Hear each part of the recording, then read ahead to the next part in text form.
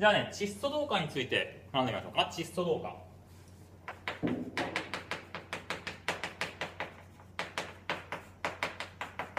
窒素導化の導化っていうのは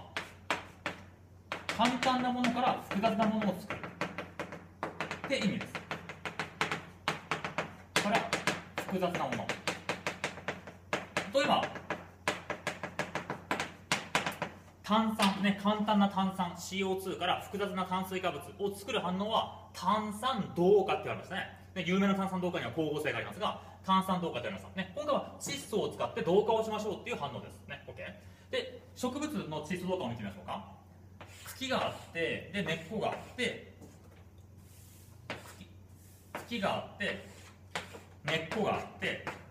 そして葉っぱがあるねちょっとねあの 比率が明らかにねおかしいけど茎葉っぱ根っこだとしてください。ね。じゃあ先生、えー、CO2 は葉っぱからこうね取り込みました。ね。えっと N2 も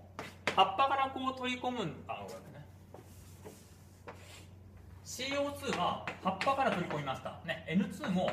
葉っぱから取り込むんじゃないですかって。だけどそれができないところが興味深い話で植物は、ね、もちろん僕らも空気中の窒素分子を直で気候から取り込んで何かしら反応を起こすことができないのね。これ空気中の窒素を使えるのは窒素固定細菌ってやつだけで基本的に土の中にいるけど窒素固定細菌。こいつらだけがこの空気中の窒素分子を取り入れて何かしら窒素、えっと、無機物。窒素を含んだ無機物を作ってくれるんです。例えば NH4 プラスとか。でまあそれが、えっと、あの別の細菌によって利用された後ねあの NO3 マイナスになったりするけどこんなふうに土の中にある窒素を含んだイオンを植物は取り入れて結局ねこの硝酸イオンって言うんだけど硝酸イオンも NH3 の形にして生体な生体の中で使います、N、土の中に溶けてる NH4 プラスとか NO3 を根っこから根っこ根っこから取り込んで NH3 の形にしていろんないろんなことに使います。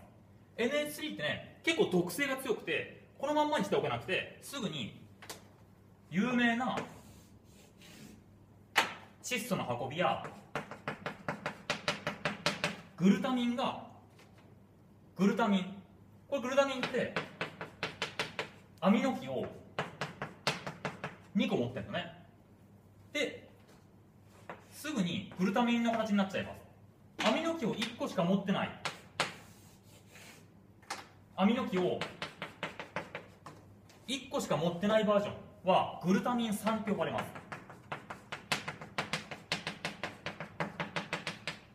すぐにグルタミン酸はあごめん、えっと、NH3 はすぐにグルタミン酸に受け取られてグルタミンになります。そしてこのグルタミンは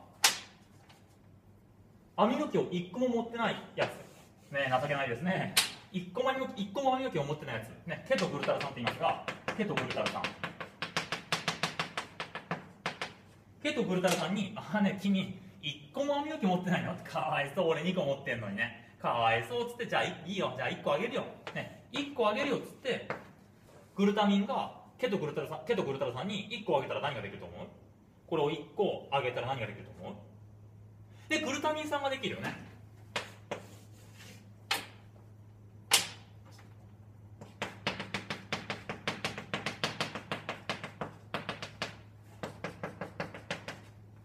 ねしかもこれ1個なくなったグルタミンはグルタミン酸になっちゃうし1個受け取ったケトグルタル酸はまたグルタミン酸になるからグルタミン酸が二分子できるよね。でこのグルタミン酸がさまざまな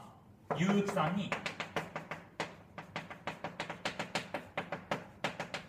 有機酸っていうのは、えっと、カルほとんどねカルボン酸でほとんどカルボン酸で COOH は持ってるんだけどこもう片方にあのもう片方の手が何もない、ね、ここにアミノ基さえあればいい？ここにアミノ基さえあればアミノ酸になれるのになーっていうやつが有機酸ほとんどね。ほとんど有機酸でこいつにグルタミン酸がかわいそうだから NH2 あげるよってあげていろんなアミノ酸をね。このアミノ酸は例えばままそのままつながってタンパク質になったりとかまたは ATP になったりとかまたは、えーと、DNA や RNA にも塩基のところに N が入ってるから核酸になったりとか。もちろん ATP にもねあのあと、えー、アデニンのところにあの ATP があ N が入ってるからね。あの N が入ってるから ATP になったりとか、ね、核酸だってたくさんある塩基の中に N が入ってるから、ね、あのアミノ酸の中の N は核酸に使わ使われたりとかあとはクロロフィルとかね。クロロフィルの中の窒素源となったりとか、ね、アミノ酸はいろんな物質の窒素源となって、えっと、体の中に分配されていくんですね。これが、えっと、窒素同化です。ここにね ATP が必要ですよ。この反応には ATP が必要。そしてこのここに働く酵素ここの反応に働く酵素はグルタミンを合成するときに使う酵素だからグルタミン合成酵素。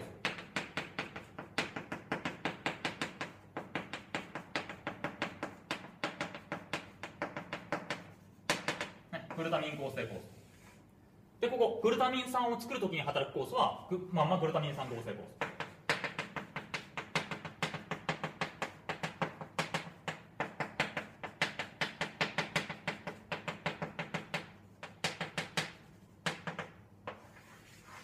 そしてグルタミン酸がいろんな有機酸にアミノ基を転移するときに働く酵素がアミノ転移酵素。